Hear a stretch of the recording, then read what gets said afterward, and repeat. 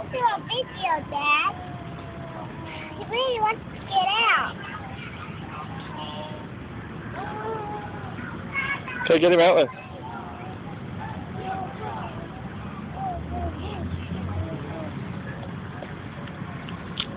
George, your golf ball.